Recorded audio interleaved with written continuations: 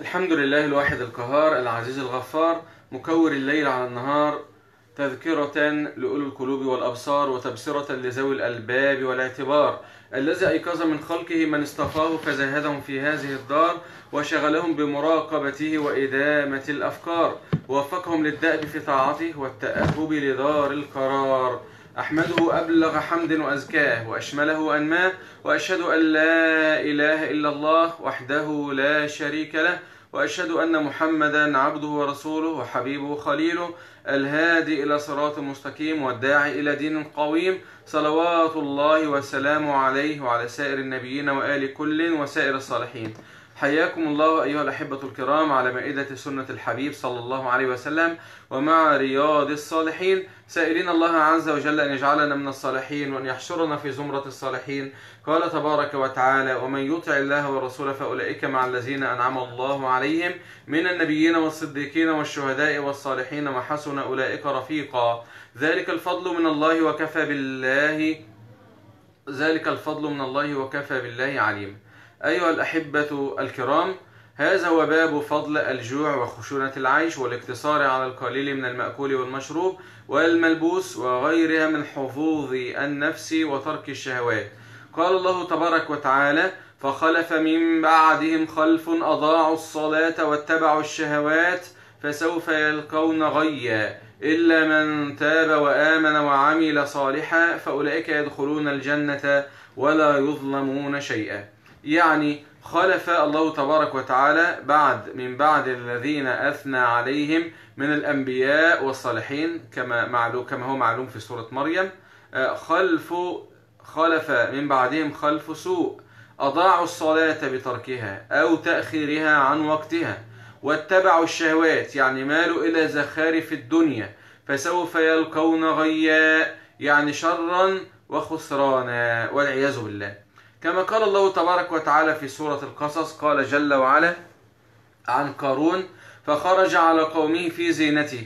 قال الذين يريدون الحياة الدنيا يا ليت لنا مثل ما أوتي قارون إنه لذو حظ عظيم. وقال الذين أوتوا العلم ويلكم ثواب الله خير لمن آمن وعمل صالحا.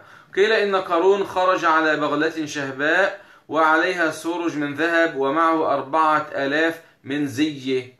قال تبارك وتعالى كذلك لتسألن يومئذ عن النعيم ثم لتسألن يومئذ عن النعيم. يعني أي إذ إذا ألهاكم عن الشكر. عن زيد بن أسلم رضي الله عنه مرفوعا قال في قوله جل وعلا ثم لتسألن يومئذ عن النعيم يعني شبع البطون والبارد من الشراب وظلال المساكن واعتدال الخلق ولذة النوم. كل ده هتسأل عليه. كل هذا من النعم التي أنعم الله تبارك وتعالى بها علينا. كما قال الله جل وعلا في سورة الإسراء من كان يريد العاجلة عجلنا له فيها عجلنا له فيها ما نشاء لمن نريد ثم جعلنا له جهنم يصلاها مذموما مدحورا. والمعنى أي من كانت همته مقصورة على الدنيا. عجلنا له فيها ما نشاء من البسط لمن يريد أن نفعل به ذلك. ثم جعلنا له في الآخرة جهنم يصلاها مذموما مدحورا مطرودا مبعدا والعياذ بالله.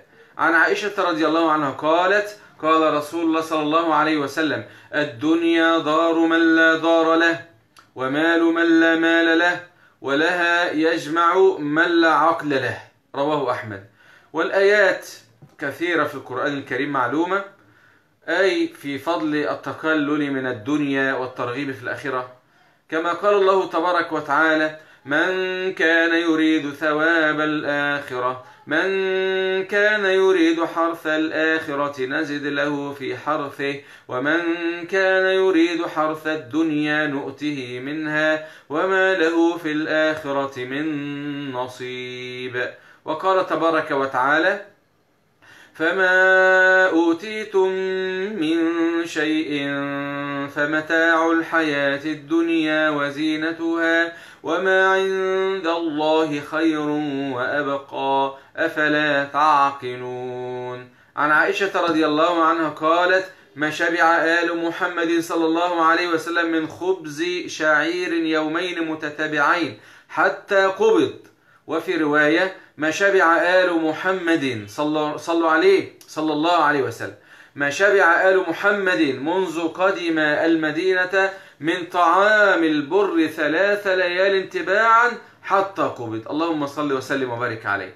فيه إعراض صلى الله عليه وسلم عن الدنيا وزهده فيها وفيه تحريض لأمتي على الزهد فيها والإعراض عما زاد على الحاجة منها ولما نفات فيه وبين حديث أنه صلى الله عليه وسلم يدخر لأهله قوت سنة لأنه كان يفعل ذلك في آخر حياته فيخرجه في الحوائج تعرض عليه.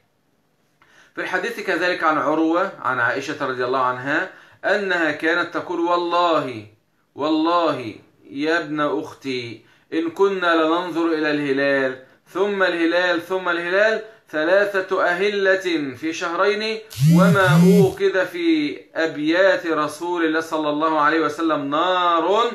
قلت يا خالة فما كان يعيشكم؟ أمر أنتوا كنتوا عايشين على إيه؟ قالت الأسودان التمر والماء إلا أنه قد كان لرسول الله صلى الله عليه وسلم جيران من الأنصار جيران من الأنصار وكانت لهم منائح وكانوا يرسلون إلى رسول الله صلى الله عليه وسلم من ألبانها فيسقينا. حديث متفق عليه. قال الحافظ في هذا الحديث ما كان فيه الصحابة من التقلل من الدنيا في أول الأمر وفي فضل الزهد وإثار الواجد للمعدوم والاشتراك فيما في أيدي الناس وفي جواز ذكر المرء ما كان فيه من الضيق بعد أن يوسع الله تبارك وتعالى عليه تذكيرا بنعمته وليتأسى به غيره.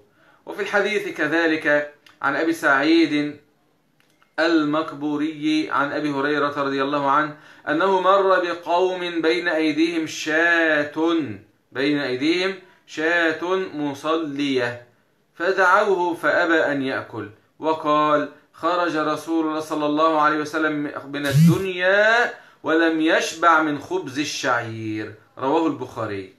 معنى شاة يعني مصلية يعني مشوية يعني مشوي. فيه في هذا الحديث في أن من شأن المحب أن يتبع آثار محبوبه ويأتم بها. فهذا هو أبو سعيد رضي الله عنه وأرضاه يحكي عن أبي هريرة رضي الله عنه وأرضاه ماذا كان. وعن أنس رضي الله عنه قال لم يأكل النبي صلى الله عليه وسلم على خوان حتى مات وما أكل خبزا مرققا حتى مات. رواه البخاري. وفي رواية له ولا أرى شاة ولا رأى شاة سميطا بعينه قط. عليه الصلاة والسلام. الخوان يعني ما يؤكل عليه الطعام بدون أن يخفض الأكل إيه؟ آه رأسه يعني من, من غير أن هو إيه ما يوطي كده وينظر في الأسفل. النبي عليه الصلاة والسلام كان يأكل على شيء مثيل بهذا. يعني أشبه بالترابيزة أو حاجة زي كده اللي بيوضع عليه الإيه؟ الطعام. والخبز المرقق هو الأرغفة الواسعة الرقيق والصميت ما أزيل شعره وشوي بجلده. القط ظرف لما مضى من الزمان مبنية على الضم. وعن النعمان بن بشير رضي الله عنهما قال لقد رأيت نبيكم صلى الله عليه وسلم صلوا عليه. عليه الصلاة والسلام وما يجد من الدقل ما يملأ به بطنه. عليه الصلاة والسلام. الدقل اللي هو تمر رديء. قوله لقد رأيت نبيكم فيه حث المخاطبين على الاقتداء به والإعراض عن الدنيا مهما أمكن. فنختم إن شاء الله تبارك وتعالى أو نكتفي بهذا القدر خاصة والأحاديث كلها تدور حول هذا الأمر. وهو عن فضل الجوع وخشونة العيش والتقلل من أمور الدنيا.